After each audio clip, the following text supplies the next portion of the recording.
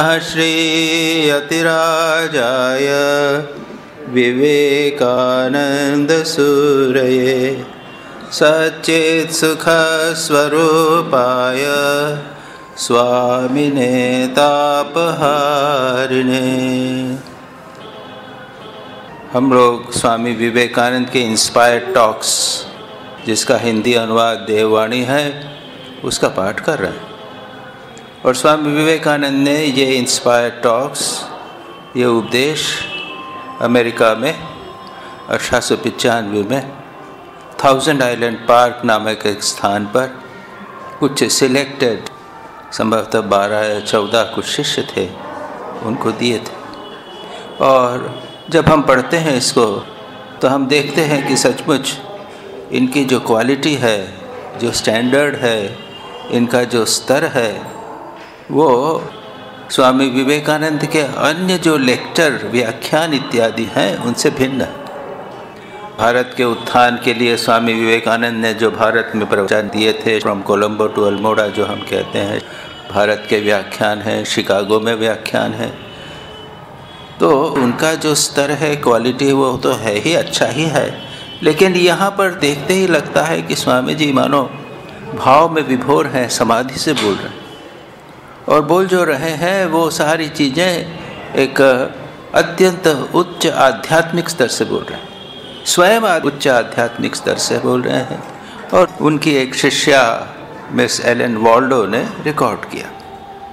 और हमने यह भी देखा था कि जो रिकॉर्ड है, वो कुछ अपूर्ण से प्रतीत होते हैं। लगता है कि कुछ बात छूट गई है, कुछ बातें लिखी हुई हैं, कुछ ठीक से लिखी नहीं गई हैं। और आज भी हम देखेंगे कि कई बातें ऐसी हैं जो लगता है कि जो शास्त्र के अनुसार नहीं है। तो ये हो सकता है कि एलन बॉल्डो लिखने में कहीं गलती कर दी। तो ये सारी बातें हम पहले भी देख चुके हैं। आज हम पुनः प्रारंभ करते हैं पाठ। 24 जुलाई का हमने कुछ पाठ कर लिया था। एक पैराग्राफ किया था, हम उसको तेज़ी से देख डालते हैं। स्वामी जी क्या कहते हैं the powers acquired by the practice of yoga are not obstacles for the yogi who is perfect but are apt to be so for a beginner though through the wonder and pleasure excited by their exercise. Siddhis are the powers which mark success in the practice, and they may be produced by various means, such as repetition of a mantra by yogic practice, meditation, fasting, or even by the use of herbs and drugs. The yogi who has conquered all interest in the powers acquired and he renounces all virtues arising from his actions comes into the cloud of virtue name of one of the states of samadhi and radiates holiness as a cloud rains water. ये paragraph हम पढ़ चुके हैं, जिन्होंने योग में पूर्ण रूप से सिद्धि प्राप्त कर ली है। यहाँ पर स्वामी विवेकानंद सिद्धियों की बात कर लें। और आप लोगों ने जो इसके पहले की क्लासेस अटेंड की है, आप जानते होंगे कि स्वामी विवेकानंद पातंजल योग सूत्र पर विस्तार से बोल रहे हैं। पतंजल योग सूत्र पर बोलने का एक और लाभ या एडवांटेज वह यह है कि वहाँ पर आप आधुनिक युक्ति के अनुसार समझा सकते हैं। अगर अद्वैत वेदांत की बात भी बीच बीच में स्वामी विवेकानंद बोलते हैं, आज भी हम देखेंगे, स्वामी विवेकानंद बात करेंगे उसकी। लेकिन वो जो अमेरिकन ब्रेन है और सामान्य व्यक्ति का मस्तिष्क है तो अद्वैत वेदांत समझना जरा कठिन। लेकिन अगर पातंजल योग सूत्र से बात करें, चित्तवृत्ति निरोध की बात करें, यम नियम की बात करें तो वो आसान हो जाता है। एक यह भी कारण हो सकता है कि स्वामी जी ने कई स्थानों पर पातंजल योग सूत्र की चर्चा की। और जिन लोगों ने यहाँ पर क्लासेस रेगुलरली सुनी है अटेंड की है, आप जानते होंगे कि हमने बहुत सारी बातें योग सूत्र की की स्वामी जी यहाँ पर योग की सिद्धियों की बात कहते हैं। वे कहते हैं कि जिन्होंने योग में पूर्ण रूप से सिद्धि प्राप्त कर ली है, उनके लिए योग सिद्धि आदि विघ्न नहीं है, किंतु प्रवर्तक के लिए जो बिगनर्स हैं, उनके लिए ये विघ्न स्वरूप हो सकती हैं। श्री राम कृष्ण को सिद्धियाँ प्राप्त थी। स्वाभाविक था उनको जो चाहे वे कर सकते थे।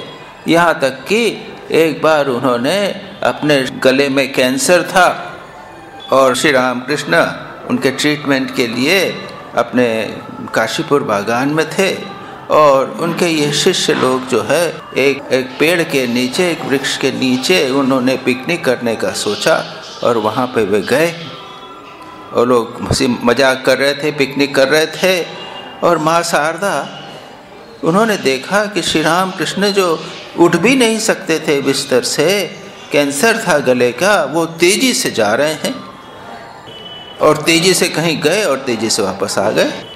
माँ शारदा में यह अंतर्दृष्टि थी, उनमें भी एक योग की क्षमता है, जो भी कहती उन्होंने श्री राम कृष्ण से भागवत में पूछा कि आप कहाँ गए थे?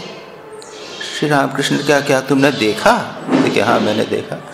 श्री राम कृष्ण अपने सूक्ष्म शरीर में गए थे। स्थूल शरीर वहीं बिस्तर पर पड़ा हुआ था।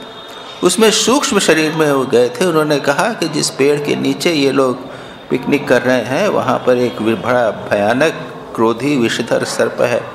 उसको मैं वहाँ से भगाने के लिए, हटाने के लिए गया।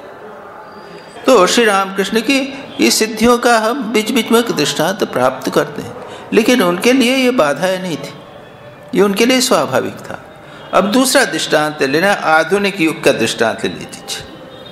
अब ये मोबाइल फ़ोन, इसके अंदर इंटरनेट, इसके अंदर यूट्यूब, इसमें क्या सब है? आप सब कुछ चाहें तो सब कुछ देख सकते हो। आप यहाँ से बैठकर दूरदर्शन और दूर श्रवण कर सकते हैं कि नहीं? ये दूरदर्शन और दूर श्रवण पहले सिद्धियाँ हुआ करती थी। लोग ध्यान करते थे, सिद्ध होता थे थे। उसके बाद में दूसरे वहाँ से अमेरिका में लोग से बातचीत कर लेते थे। या अमेरिका में क्या हो रहा है, वो देख लेते थे। लेकिन आज के ज़माने में आप सामने रख लीजिए और आप बात कर लीजिए। आजकल तो वो टीवी कॉन्फ्रेंसेस हुआ करती है। तो इसमें कोई किसी को आश्चर्य नहीं लगता। बड़े के लिए आश्चर्य नहीं है। छोटा बच्चा उसके लिए आश्चर्य। उसी को छोड़ेगा नहीं।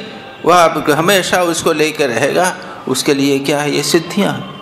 ये इसीलिए स्वामी जी ये कहते हैं कि powers acquired by the practice of yoga are not obstacles for yogi who is perfect एक सिद्ध योगी उसके लिए अणिमा लघिमा महिमा, गरिमा, प्राप्ति ईशावसायित्व ईशित्व ये अष्ट सिद्धियाँ।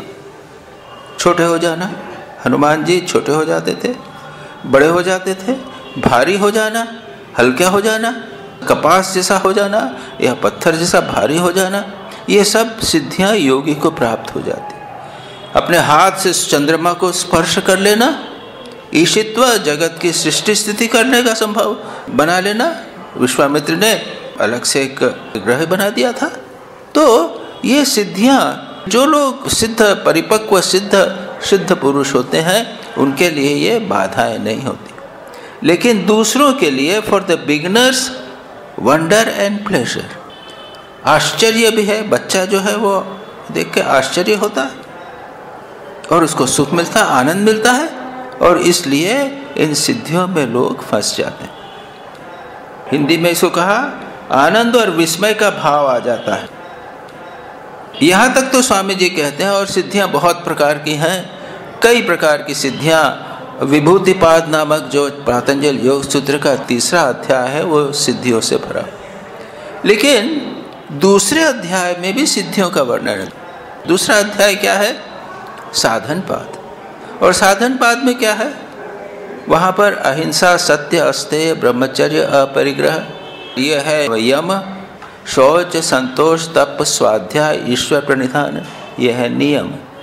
और इनका वर्णन करने के बाद वहीं पर भी कहा गया है कि अगर आप सत्य में प्रतिष्ठित हो जाओ, अहिंसा में प्रतिष्ठित हो जाओ तो क्या होगा?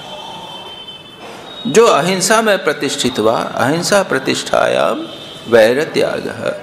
अगर कोई व्यक्ति अहिंसा में प्रतिष्ठित हो जावे तो उसके हृदय से संसार के प्राणियों के प्रति छोटे बड़े सभी प्राणियों के प्रति का वैर भाव चला जाता है और उसके प्रति दूसरे के मन में वैर भाव नहीं आता। कहते हैं कि ऐसा व्यक्ति यदि बैठा है तो उसके पास में एक शेर और बकरी दोनों शांत, चुपचाप बैठेंगे। शेर और बकरी जो है, उनका वैर भाव चला जाए। तो इसको आप अहिंसा नहीं कहेंगे तो क्या कहेंगे?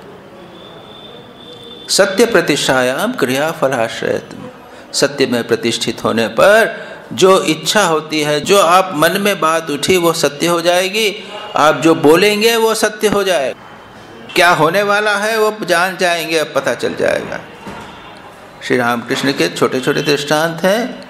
श्री रामकृष्ण कहते हैं, राखाल को भूख लगी ना? राखाल कहता मेरे भूख लगी तो ठाकुर ने क्या किया? वो गंगा में जाके, गंगा किनारे जाके बोले, ओ गौरदासी, मेरे राखाल को भूख लगी, कुछ लेके आओ। राखाल ने कहा आप क्यों? उनको बड़ा बुरा लगा। बच्चे थे, लड़के थे, उन्होंने कहा, आप ये क्या कर रहे हैं? अनाउंस क्यों कर रहे हैं? तो कह रहे, भूख लगी है तुझे बताने से क्या? उसको बोलने से क्या नुकसान है? अगर तुमको भूख लगी है तो बोलो भूख लगी है। और उसके बाद क्या हुआ?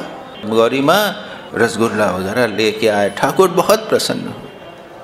उसको दे अब स्वामी जी यहाँ पर जो बात कहते हैं, इसके आगे, वो है, सिद्धि या विभूति आदि योग साधना के मार्ग में ठीक ठीक अग्रसर होने का चिन्ह स्वरूप है। एक और तो स्वामी जी कहते हैं कि ये बाधा बन सकती है। बड़े बड़े योगी हो जाते हैं, उसके बाद में फंस जाते हैं उसके अंदर। लेकिन दूसरी ओर ये भी कहते हैं कि siddhis and powers they mark the success in the practice हम साधना कर रहे हैं, ध्यान जप कर रहे हैं, आप लोग सभी नियमित रूप से निष्ठापूर्वक ध्यान जप कर रहे हैं तो कुछ न कुछ तो होना चाहिए। स्वामी जी कहते हैं कि उससे सिद्धियाँ प्राप्त होती हैं। स्वामी जी ने आप लोगों ने अगर राजयोग पढ़ा होगा, ठीक से अगर पढ़ा होगा, यहाँ तो इंस्पायर टॉक्स हैं, ये अलग है। स्वामी विवेकानंद का राजयोग। और राजयोग में स्वामी विवेकानंद आसन, प्राणायाम, प्रत्याहार, धारणा, ध्यान इत्यादि का वहाँ पर वर्णन करते हैं। और वहाँ पर वर्णन करते हुए कहते हैं कि अगर आप आसन में बैठो, प्राणायाम करो तो क्या होगा? छः महीने में आपका चेहरा जो है, चमकने लग जाएगा। आपका चेहरा सुंदर हो जाएगा। रिलैक्स्ड फीलिंग होगा। आपके जीवन में एक तनाव दूर होने के कारण चेहरा जो है, उसमें एक सौंदर्य हो जाएगा, वह आकर्षक हो जाएगा। आपकी वाणी जो है वो मधुर हो जाएगी। आपको ज्योति दिखाई देने लग जाएगी। स्वामी जी कहते हैं कि आपको कुछ ध्वनियाँ सुनाई देने लग जाएँगी, छह महीने। में तो हम तो बच्चे थे उस समय। कॉलेज में पढ़ते थे अठारह, उन्नीस वर्ष की। और वहाँ पर स्वामी जी का जब राजयोग पढ़ा है पता नहीं आप लोगों को प्रभाव होता है कि नहीं, हम लोग जब हम जब पढ़ते थे तो छोड़ नहीं पाते थे। और राजयोग पढ़कर ऐसा आकर्षण होता था स्वामी जी ने जैसा कहा, प्राणायाम करना, प्राणायाम शुरू कर दिया। लेकिन स्वामी जी कहते हैं कि गुरु होना चाहिए। नहीं तो मार्ग भ्रष्ट हो सकते हैं, प्राणायाम के बुरे प्रभाव हो सकते हैं। प्राणायाम अगर आपने ज़्यादा किया तो हृदय हार्ट के ऊपर और हृदय पे उसका प्रभाव पड़ सकता है। ये मैं अब बोल रहा हूँ एज ए डॉक्टर लेकिन पहले तो नहीं समझते थे। हम सोच रहे थे कि गुरु मिले तो अच्छा है। और प्रभु की कृपा इंदौर में आ गए स्वामी सत्स्वरूपानंद जी माँ शारदा के शिष्य और उन्होंने आश्रम शुरू कर दिया। एक रेंटेड हाउस में, एक किराए के हॉल में उन्होंने आश्रम शुरू किया। किसी ने हमको बता दिया। हम देखते देखते पहुँच गए उनके पास में एक दिन कॉलेज के बाद में। अब जानते भी नहीं थे हाँ खड़े होकर प्रणाम किया। अब नीचे झुक के प्रणाम, वनाम कौन जानता है? बच्चे थे। उन्होंने चटाई थी, नीचे फर्श पे बैठे हुए थे। कहा, चटाई लो, बिछाओ, बैठो।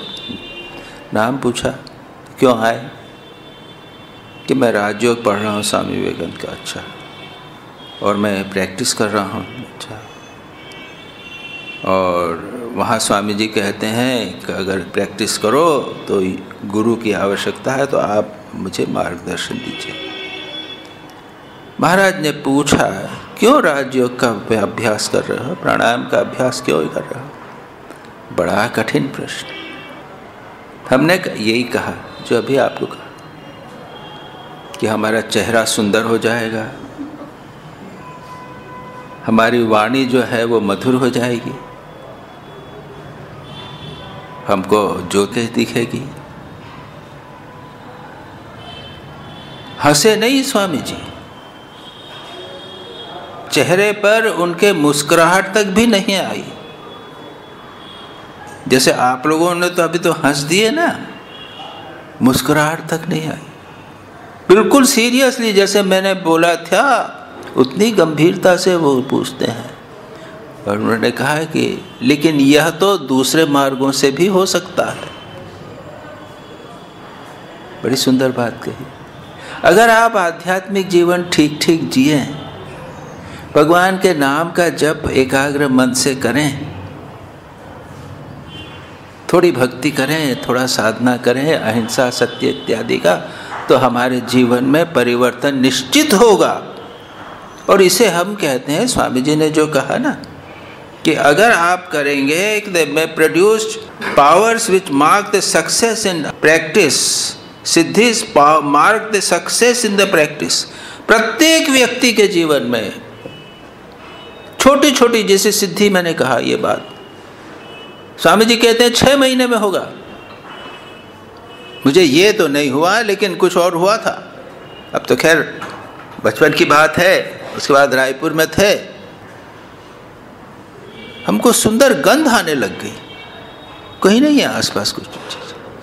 हमको सुंदर गंध आने लग गई। ये एक सिद्धि। योगियों के लिए उसका नगण्य है। लेकिन ये बताती हैं कि तुम ठीक ठीक चल रहे हो, चलते जाओ। ये बात स्वामी जी यहाँ पर कह रहे हैं। बड़ी बात की बातें नहीं कर रहे हैं। सुनो, शुरू में जैसा मैंने कहा, योग में ये कहा है, प्रत्येक व्यक्ति के जीवन। ठाकुर की कुछ कुछ बातें ले लीजिए। उदाहरण के लिए मैंने कहा, सत्य, अहिंसा इत्यादि। श्री रामकृष्ण की छोटी छोटी बातें ले लीजिए। श्री रामकृष्ण क्या कहते हैं? मुझे शौच जाना है। बोल दिया। झाऊ तला जाऊँगा। उसके बाद शौच की हाजत नहीं है। क्या करूँ? बोल दिया है। तो वो अपना वाटर पॉट लेकर वहाँ तक जाते थे सत्य की रक्षा करने। और अनेक स्थानों पर वचनामृत में आप पाएँगे श्री रामकृष्ण इस चीज़ को कहते हैं। सत्य की रक्षा। अच्छा हम ये क्या नहीं कर सकते?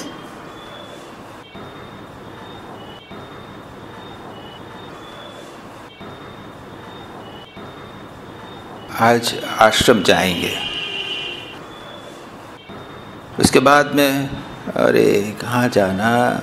ये हो गया, वो हो गया। नहीं, हमने मनी मन संकल्प किया है, जाना है तो जाना। जाएँगे। अमुक काम करेंगे, थोड़ा संकल्प किया है मन में, उसको मत बदलिए। उसको पूरा कीजिए। तब देखेंगे कि आपका मन जो है वो सजग हो जाएगा। उसके बाद में संकल्प करना या मुँह से बोलना, उसके बारे में आप सावधान हो जाएँगे। श्री रामकृष्ण कहते हैं, सत्य कलिकाल की तपस्या।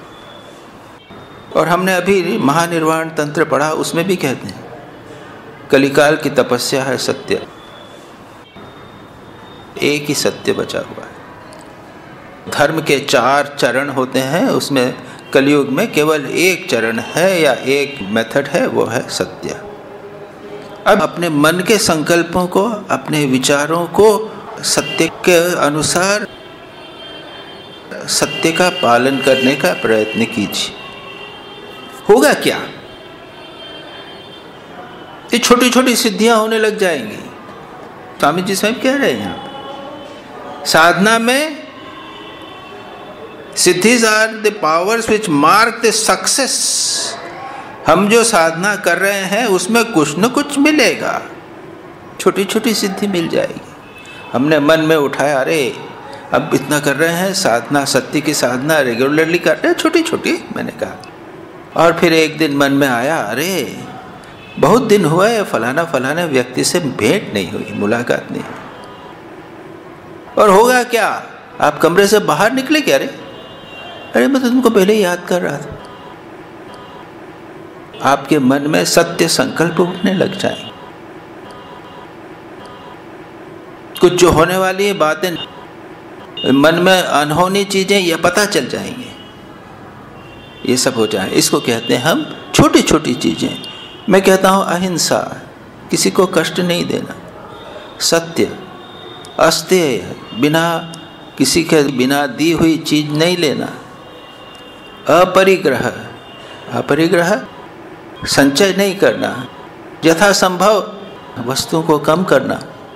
मैं कभी कभी कहता हूँ कि रोज़ घर से कुछ कुछ निकाली है मेरा खुद का कमरे में कितनी सारी चीज़ें पड़ी हुई हैं जो ऐसी रोज़ डिस्कार्ड की जा सकती मैं पहले भी एक बार कह चुका हूँ यहाँ पे प्रवचन में कि रोज़ ये घर से अपने कमरे से कुछ चीज़ें निकालेंगे।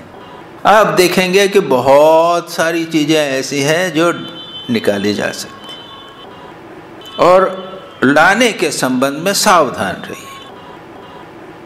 कोई नई चीज़ खरीदनी है, लानी है तो पूछिए अपने आप से can I do without it इसके बिना काम चल सकता है क्या? नहीं चल सकता अच्छा अब दो चार दिन बाद में उसको लेंगे। इस प्रकार से अपरिग्रह का भी धीरे धीरे अभ्यास कीजिए। और जो उसके परिणाम है, वो आपको प्राप्त हो जाए छोटी छोटी सिद्धियाँ हमारे जीवन में आएँगी। अच्छा अब ये तो मैंने बता दिया, कुछ प्रैक्टिकल बातें। मैंने कहूँ कि अब ये अगर मैं पातंजल योग सूत्र की बड़ी बड़ी सिद्धियों की बात करूँ तो उससे हमारा तो कुछ काम होगा नहीं, फ़ायदा नहीं होगा। यह मैंने इसीलिए इसको थोड़ा व्यवहारिक पक्ष जो हम अपने जीवन में छोटा मोटा कर सकते हैं, उसको हम जीवन में करें। देखिए, ये नैतिकता जिसे कहते हैं मॉरलिटी अहिंसा, सत्य, अस्त्य, ब्रह्मचर्य, निस्वार्थता, सबका जगत का कल्याण की भावना करना, प्रार्थना करना प्रार्थना करना लोगों के कल्याण के लिए ये सारी बातें बहुत महत्वपूर्ण है। हमारा जीवन धीरे धीरे उसको करते करते परिवर्तित हो जाता है। और आप जो लोग संभवतः साधक हैं, वो बाद में लोग कहेंगे कि अरे, ये दस साल, पंद्रह साल पहले वाले जो व्यक्ति हैं, वो व्यक्ति नहीं रहे, बदल गए। थोड़ा थोड़ा थोड़ा थोड़ा अभ्यास करते करते करते करते, ये अपने आप में एक सिद्धि है। हमारे जीवन में, चरित्र में परिवर्तन स्वामी विवेकानंद यही कहते हैं कैरेक्टर बिल्डिंग धर्म का अर्थ ही है कैरेक्टर बिल्डिंग मंदिर में जाना, घंटी बजाना, ये नहीं है। तो ये मोरालिटी जिसको कहते हैं, और ये जो मोरालिटी है, नैतिक जीवन है, ये भी दो प्रकार के एक है सब्जेक्टिव और एक ऑब्जेक्टिव सब्जेक्टिव यानी मैं अपने जीवन में अहिंसा, सत्य, अस्त्य का पालन कर रहा हूँ, उसका जगत में प्रभाव पड़े या न पड़े। दूसरा है ऑब्जेक्टिव यानी लोगों के व्यवहार के संबंध में, दूसरों के कल्याण के लिए इस नैतिकता को पालन करना, ये दो प्रकार की होती है। जो भी हो, स्वामी जी कहते हैं, यहाँ योग का अभ्यास तो मैंने यहाँ पर इसमें नैतिकता को मैंने लिया है, क्योंकि योग का नैतिकता एक बहुत महत्वपूर्ण अंश है, याद रखें नैतिकता के बिना योग संभव नहीं है। अब स्वामी जी आगे कहते हैं siddhis are powers which mark success so practice and they may be produced by एक और बात यहाँ पर कहते हैं स्वामी जी, किंतु they may be produced by various means such as the repetition of a mantra by yoga practice meditation fasting और even by the use of herbs and drugs. किंतु ये जो सिद्धियाँ हैं, ये मंत्र जप उपवास आदि तपस्या, योग साधना, इतना ही नहीं, औषधि विशेष आदि के व्यवहार धारा भी वो हो सकती हैं, सिद्धियाँ। पतंजल योग सूत्र का चौथे अध्याय का पहला सूत्र है। वहाँ पर यह कहा गया है कि औषधि, मंत्र, तप, योग सिद्ध यहाँ अनफॉर्चुनेटली मैंने लिख रखा था आया नहीं कि मंत्र के द्वारा अगर आप मंत्र का जप करें तो सिद्धियाँ प्राप्त हो सकती हैं। तपस्या के द्वारा। तपस्या यानी भगवान के नाम के जप के साथ साथ तप, उपवास आदि करना। फिर योग की बात तो हो ही गई है। यहाँ तक कि औषधि के द्वारा। दवाइयों के द्वारा सिद्धियाँ प्राप्त हो सकती हैं। और कुछ कमेंट्रीज में उन लोगों ने कुछ सिद्धियों का बात मैंने पढ़ी है। हरिनार आनंद अरण्य में। अब ये मिलती हैं कि नहीं मिलती हैं, पता नहीं। और एक आपने पता नहीं, संभवतः आपने सुना होगा। L S D L S D है ना? एल एस डी एक पहले हुआ करती थी, आजकल नहीं मिलती, बैन कर दिया गया। उसको बंद कर दिया। अब दृष्टांत के लीजिए, आप लीजिए भंग, गांजा, चरस, ये लोग क्यों लेते हैं? उससे मन की एक स्थिति ऐसी हो जाती है, जो सामान्य प्रकार का मन नहीं है, उसमें थोड़ी सी एक स्पेशल स्टेट आ जाती है।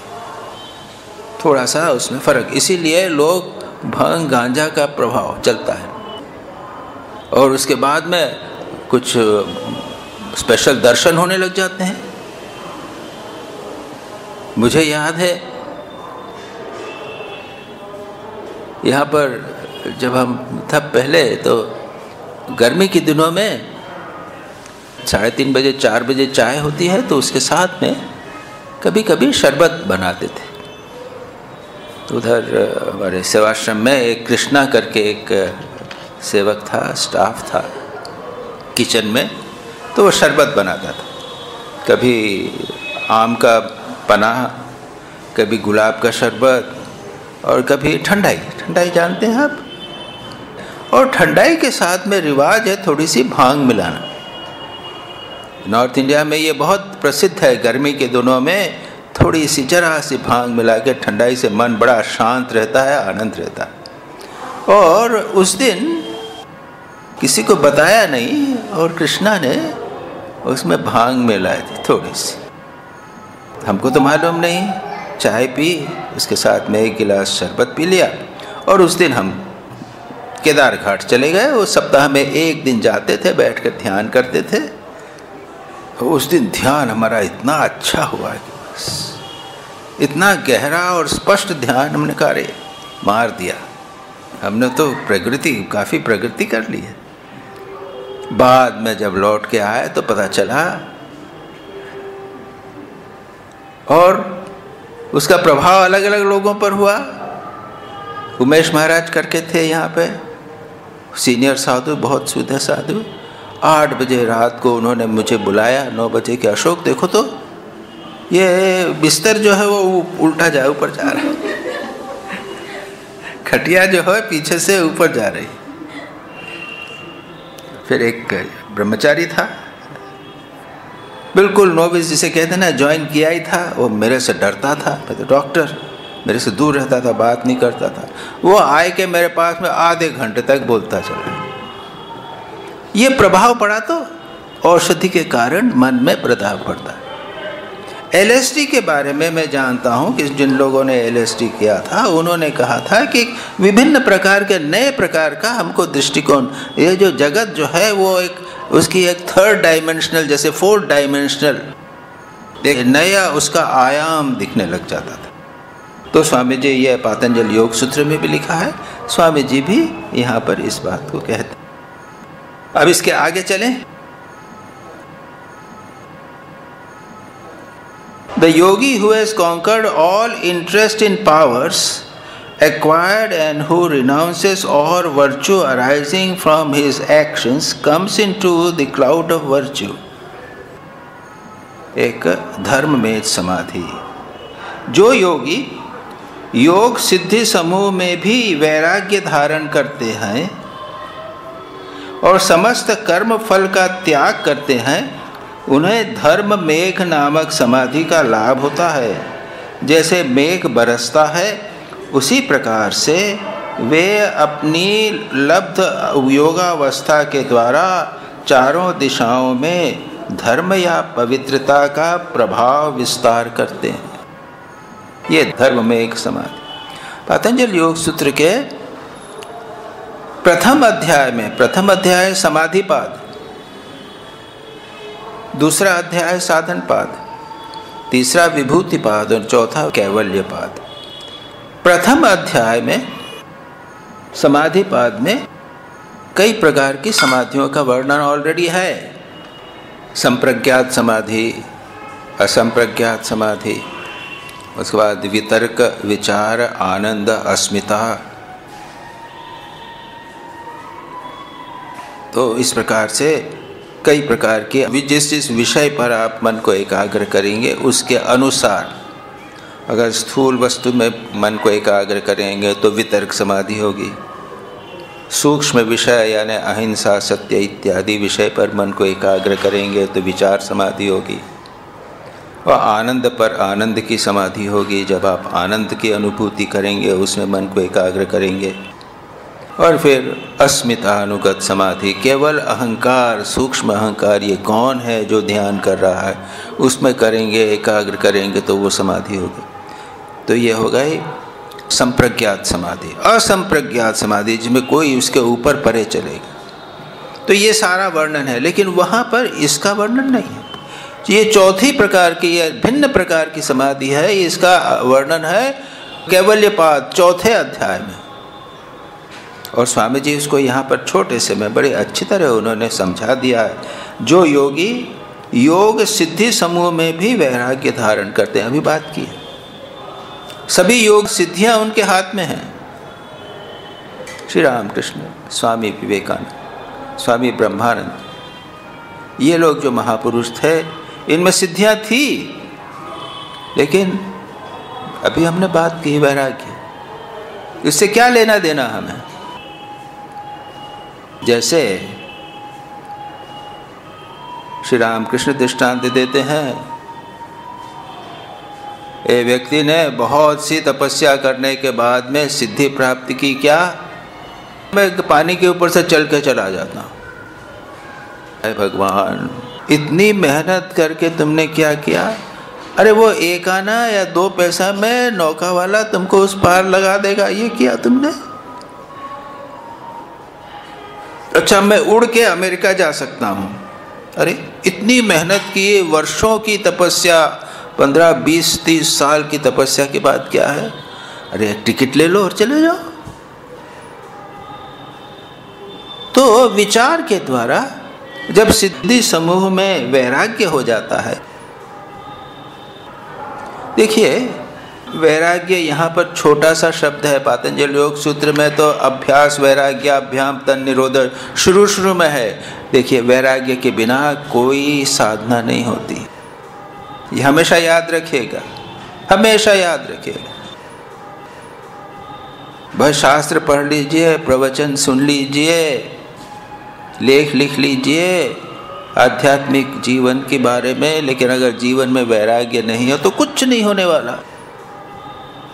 और ये दूसरी चीज़ भी याद रखिए, वैराग्य के बिना सुख भी नहीं।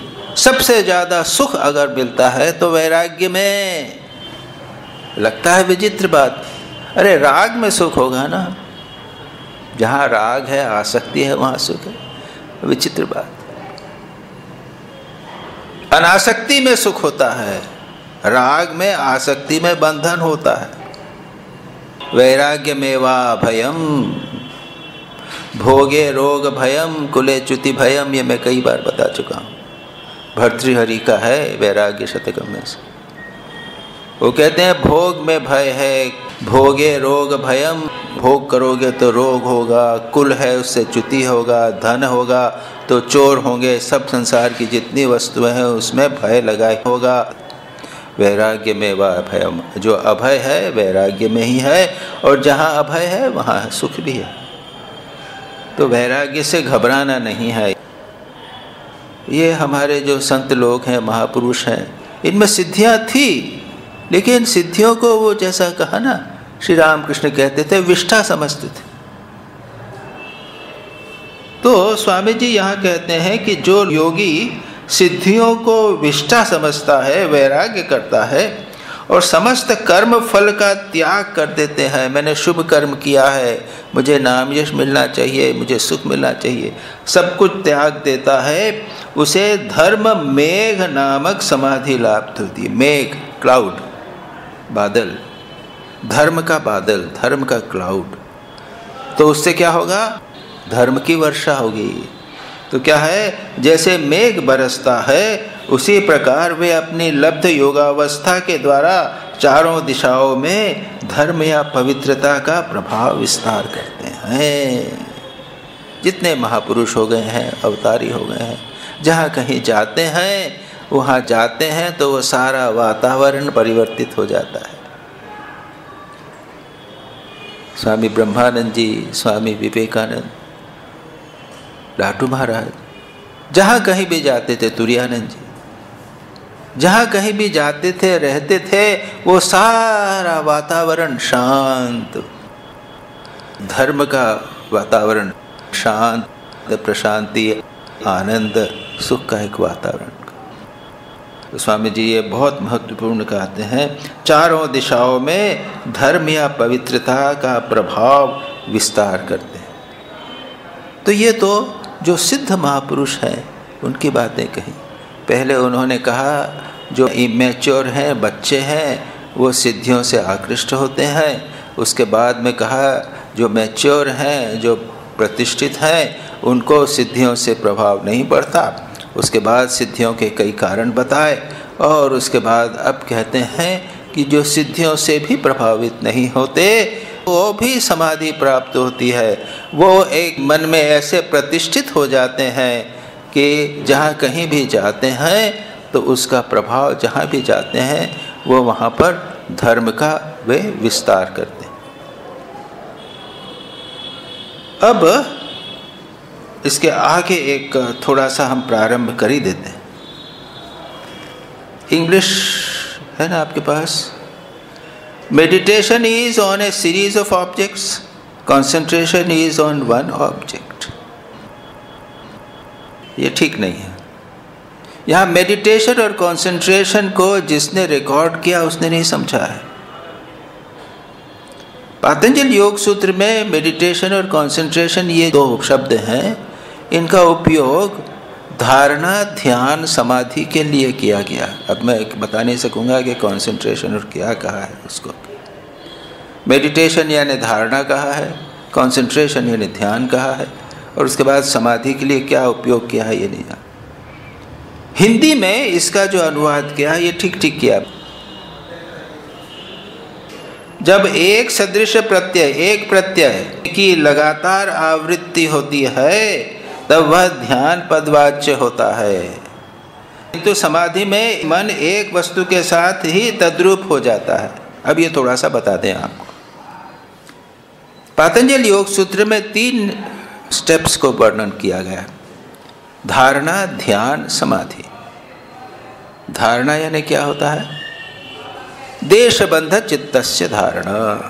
और मैं हमेशा प्रयत्न करता हूँ कि बड़ी बड़ी बात जो है ये इतनी कठिन हो, आप अपने जीवन में कितना हम उतार सकते हैं, साधना कर सकते हैं, वो मैं उसके ऊपर थोड़ा सा ध्यान दूँ। देशबंध चित्त से धारणा, यानी चित्त को किसी एक देश, यानी एक स्थान में धारण करके रखना, उसको कहते हैं धारणा। देशबंध देशबंध यानी क्या? हमारा हृदय है एक स्थान है। इसमें मन को लगाओ। मन को हृदय में ही लगाओ और कहीं नहीं जाने दो। या फिर भ्रूमध्य में लगा के रखो, या फिर सिर पर लगा कर रखो। ये देश है, स्थान। या फिर सामने एक चित्र है, उस पर लगा के रखो। और कहीं नहीं जाने दो मन को। करके देखिए। ये पहली प्रैक्टिस। दूसरा है, उसके बाद जब आपने किया, आप लोगों को जो गुरु जो निर्देश देते हैं, मंत्र देते हैं, जप करने का, ध्यान करने को कहते हैं कि नहीं कहते हृदय में ध्यान करो, कमल का कल्पना करो, उसके बाद में से हृदय देखो। पहले अच्छी तरह अभ्यास हो जाना चाहिए कि हम यहाँ पर मन को लगा सकते हैं। तब तो ध्यान होगा ना।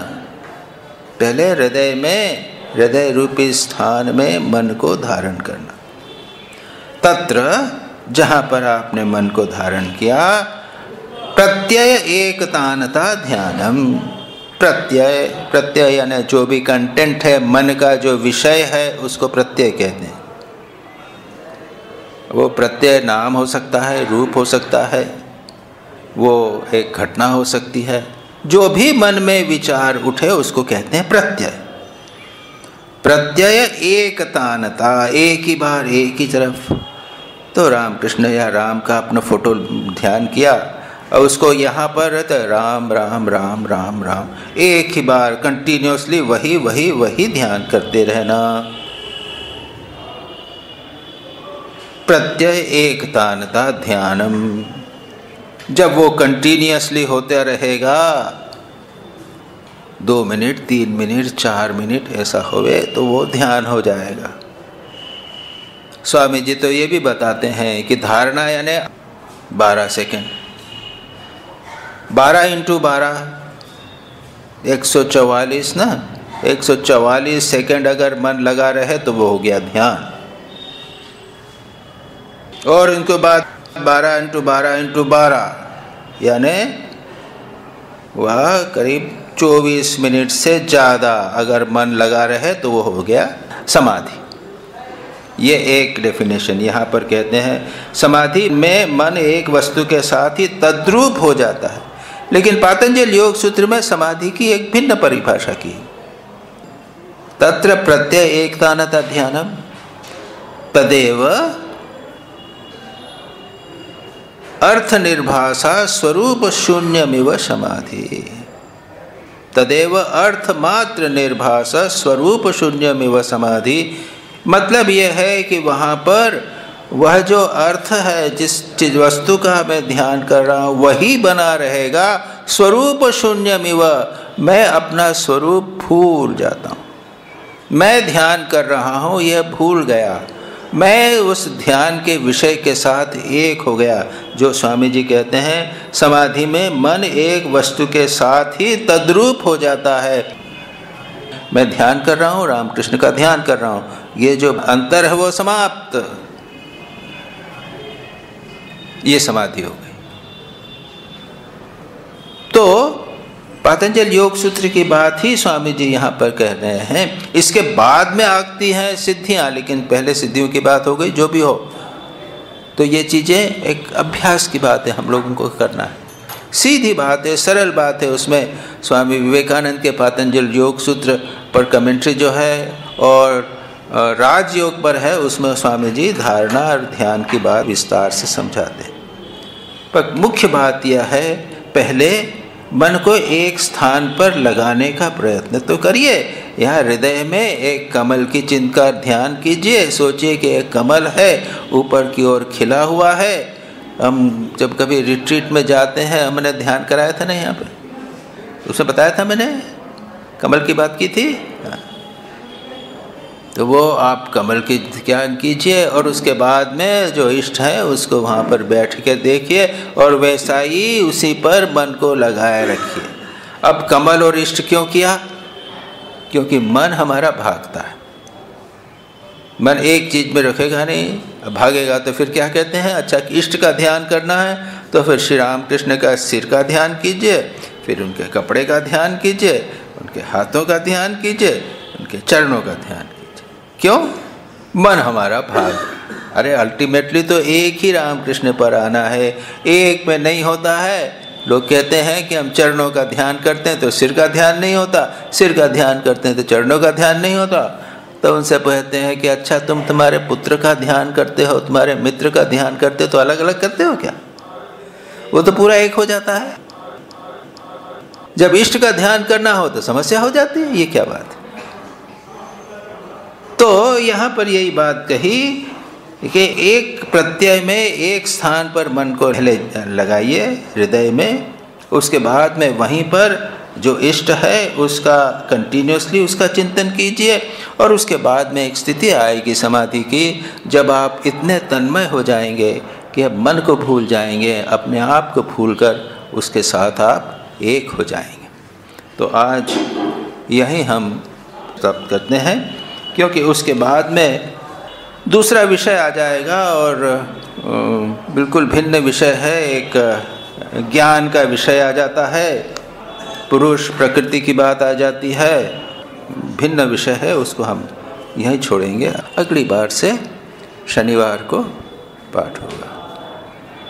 तम देशिकेन्द्रं परमं पवित्रं विश्वस्य पालमधुरं यतीन्द्रं हिताय नयणां नरमूर्तिमन्तं विवेकानन्दमहं नमामि नमः श्रीयतिराजाय विवेकानन्दसूरे सच्चित्सुखस्वरूपाय स्वामिने तापहारिणे।